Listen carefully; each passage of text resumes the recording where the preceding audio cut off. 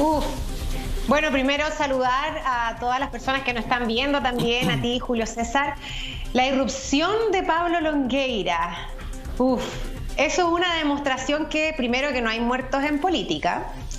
Eh, y Pablo Longueira elige uno de los mejores minutos para irrumpir con esta tesis, que además fue una tesis que, ojo, porque esto se levantó en algún minuto en la UDI, en no irse eh, derechamente a trincherarse al rechazo, sino que ir por el apruebo y disputar eh, la convención constitucional.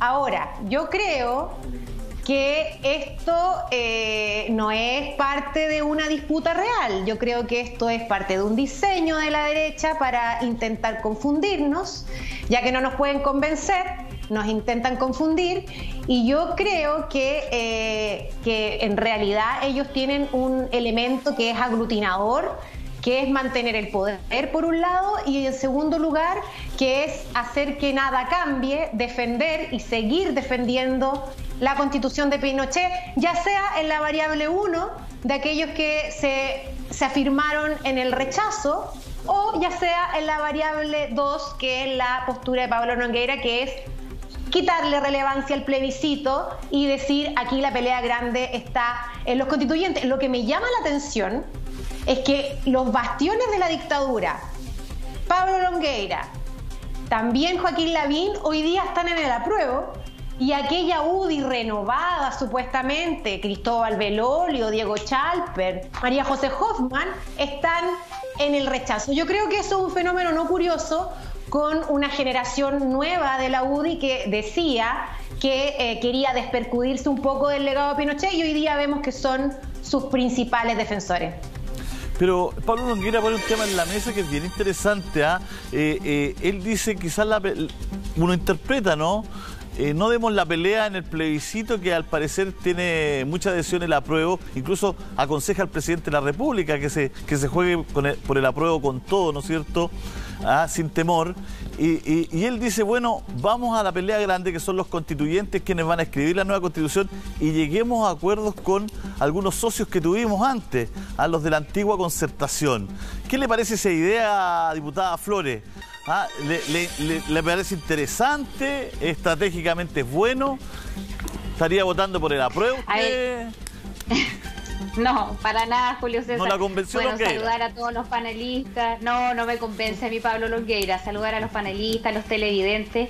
Bueno, primero a mí me parece bastante inoportuna la, la salida no repentina de Pablo Longueira, luego de haber estado tantos años alejado de la política. Eh, y claro, yo creo que salió, vio la micro que iba corriendo más rápido y se subió a esa micro, Julio César. Yo creo que, claro, quizás está jugando una, una posición que es más cómoda, que es la más popular, al menos, ¿cierto? En las encuestas que se manejan hoy día, al parecer es la posición que iría, ¿cierto?, punteando esta, esta posible elección del plebiscito. Y claro, eh, él está subiéndose esa micro porque la que está corriendo más rápido yo en lo personal no, no me convence a mí Pablo Longueira. Yo entiendo que hay mucha gente que lo sigue, especialmente en la UDI, que yo creo que ahí es donde se va a generar eh, más probablemente, ¿cierto?, una suerte de encrucijada si cambiar o no su opción a propósito de la irrupción, insisto, bastante inoportuna desde mi punto de vista de Pablo Longueira. A mí no me convence, yo creo que la mayoría de los, de los chilenos eh, eh, no, no, va a sentir, al menos los que tengan una posición ya muy determinada por el rechazo, eh, una, no, van a cambiar a propósito, ¿cierto?, de esta irrupción de Pablo Longueira. La verdad es que yo no entiendo mucho esta, estas posiciones porque al final lo único que hacen es confundir bastante. Uno no entiende que con determinados discursos donde digan, mire, esta es una buena constitución, no partamos de cero, pero yo voto apruebo. O sea, es, es algo inentendible. O sea, el claro en la argumentación, eh, más que en el titular, ¿cierto? Eh, da razones por las cuales evidentemente él debiera rechazar no debiera aprobar, porque él dice, mire, yo quiero aprobar, pero no quiero partir de una hoja en blanco, y ahí es donde parece que no entendió cuáles son las reglas del juego, las que se aprobaron, ¿cierto?, en este acuerdo que firmaron gran parte de los partidos políticos y donde se avanzó de respecto de cuál iba a ser el mecanismo, cuáles iban a ser los quórum, en fin, para poder aprobar esta hoja en blanco, que sería, ¿cierto?, la nueva constitución en caso de que gane el apruebo. Entonces él dice, mire, yo no quiero partir de cero. O sea, no entendió Pablo Longueira finalmente lo que se está haciendo, porque es precisamente eso, partir de cero, partir de, uno, de una hoja en blanco. Entonces a mí la verdad es que me parece bien contradictorio la argumentación y por otro lado la opción. Él entendió claramente porque, porque él dice, eh, ¿no es cierto?, votar a prueba, presentarse a constituyente.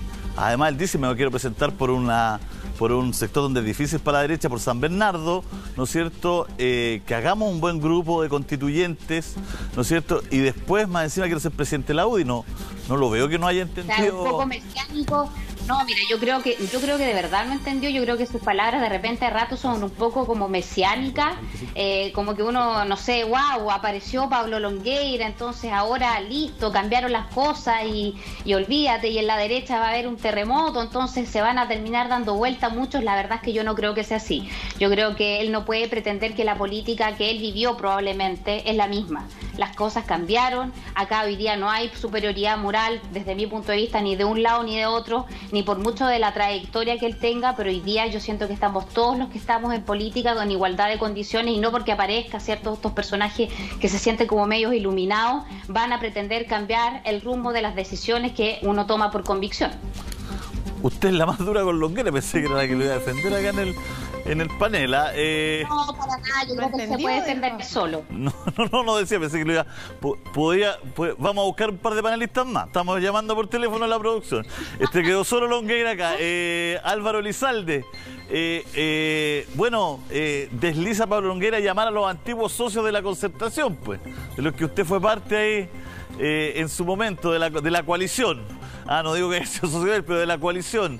¿Qué le parece esa estrategia? Generar acuerdos para esta nueva constitución? A ver, en primer lugar, las palabras de Pablo Longuera dan cuenta que hay, un sector, eh, efectivamente, el oficialismo que está con el apruebo, y por tanto también hay una derrota estratégica de las ideas que ha representado históricamente la UDI.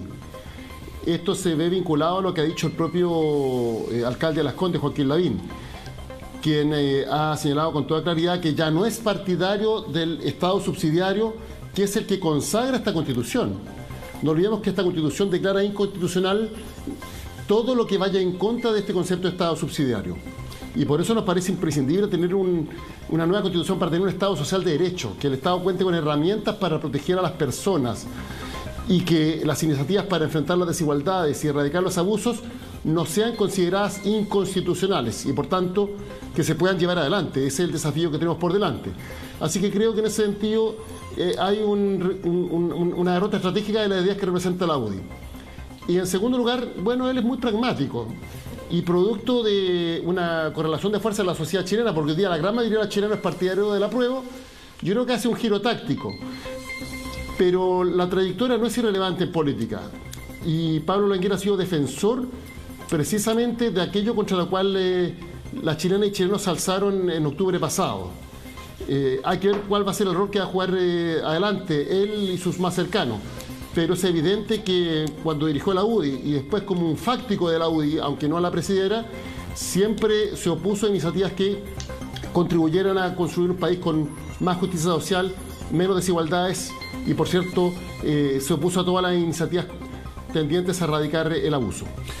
alcalde Codina, para cerrar este tema un poquito con usted, porque sabemos que tiene ahora algo que hacer.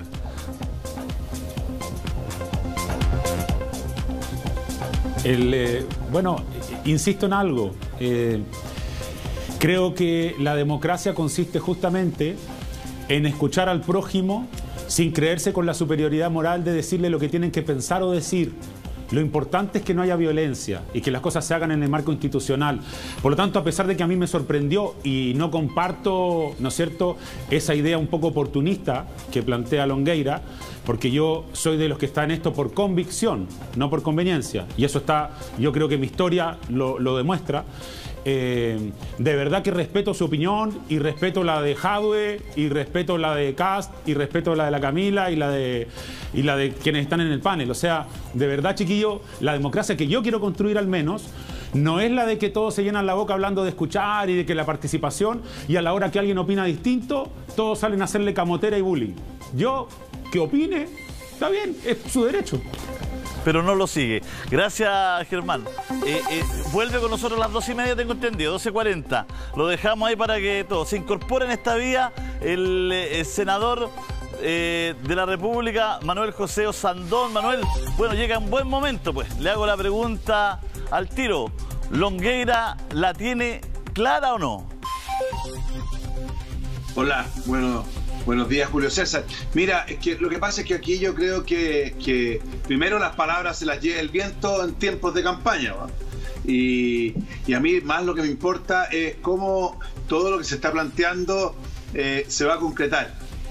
Al leer la entrevista de Longueira, se, él, él subyace claramente y plantea una estrategia, una estrategia que yo creo que está muy bien estudiada y a mí me merece una duda el actual de Lavín, Matei, por otro lado Longueira. Eh, aquí hay una estrategia mucho más grande de lo que parece, porque lo que trata de decir en la entrevista Longueira es que no quiere que existan ni perdedores ni, ni ganadores ¿ah? para, para que esta constitución no parta de cero. Y, claramente eh, han hecho un estudio sociológico eh, muy, muy profundo de lo que Chile quiere.